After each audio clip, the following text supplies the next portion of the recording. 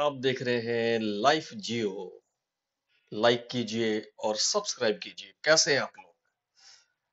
उम्मीद है आप सब लोग अच्छे होंगे। दोस्तों, बहुत बड़ी खुशखबरी है। बहुत ही बड़ी है। उम्मीद से भी कहीं ज़्यादा।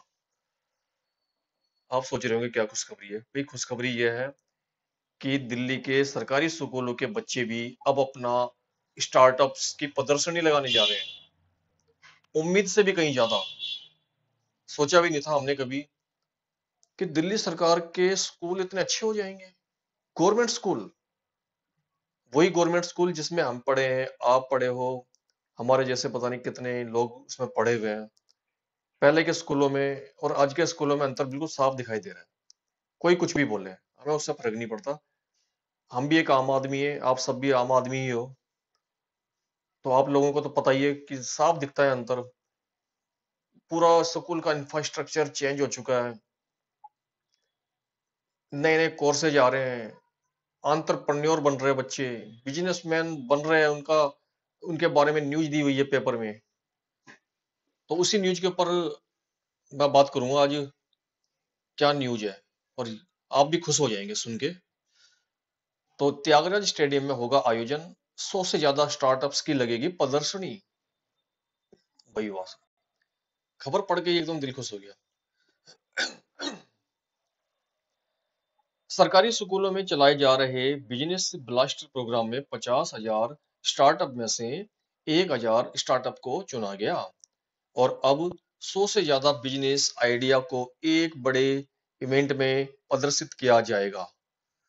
दिल्ली सरकार की ओर से 5 मार्च को त्यागराज स्टेडियम में business blaster investment meet and expo का आयोजन किया जाएगा, जहाँ पर देश भर से इन्वेस्टर आकर इन बिज़नेस आइडियाज़ में निवेश कर सकेंगे।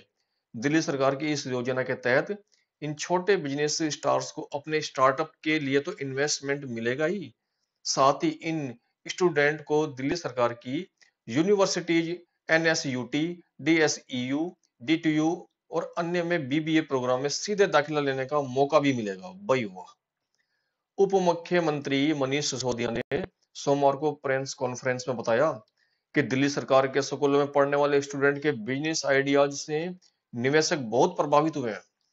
अब तक इन आइडियाज़ को 12 करोड़ रुपए से अधिक का सपोर्ट और ऑफ़र किया गया है।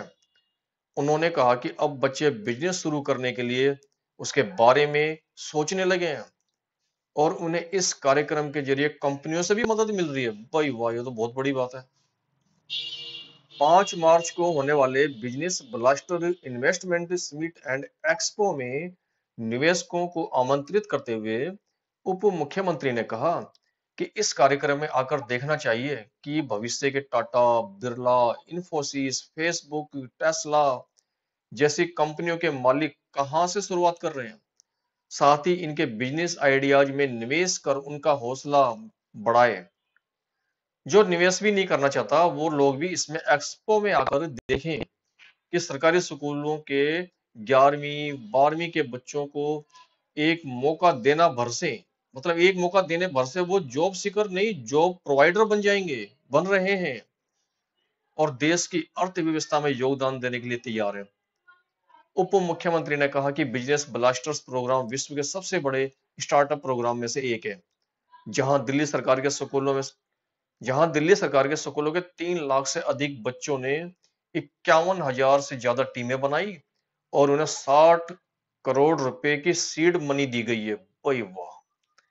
इनमें से ज़्यादातर टीम्स ने भी लाभ कमाया और जिस टीम ने प्रॉफिट नहीं भी कमाया तो उनमें अंतरप्रन्योरशिप माइंडसेट का विकास हुआ है।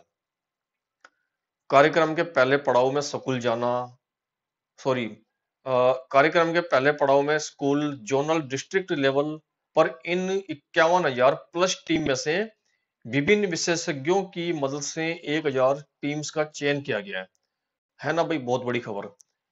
भाई, अब तो लगने लगा है कि कम से कम दिल्ली के सरकारी स्कूल के जो बच्चे इसमें पढ़ रहे हैं, उनका भविष्य बहुत उज्जवल होने वाला है और आने वाले समय में बड़े बड़े बिजनेसमैन साइंटिस्ट इंजीनियर्स ये सब की भरमार हो जाएगी दिल्ली में और शायद बेरोजगारी की समस्या तो बिल्कुल ही दूर हो जाए क्योंकि जब इतने स्टार्टअप्स हो जाएँगे तो उनको, उनमें काम करने के लिए फिर अच्छे-अच्छे कर्मचारी भी चाहिए।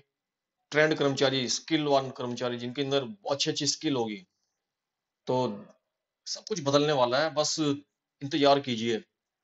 और इंतज़ार क्या, अब तो त्यागराज स्टेडियम में जाइए 5 तारीख को और देखते हैं क्या-क्या स्टार्टअप्स हैं बच्चों का। तो इसी पे एक किस्सा भी याद आ रहा है छोटा-सा मैं आपको सोच रहा हूँ सुनाई दूँ। किस्सा ये है कि एक बार 2015 की बात है।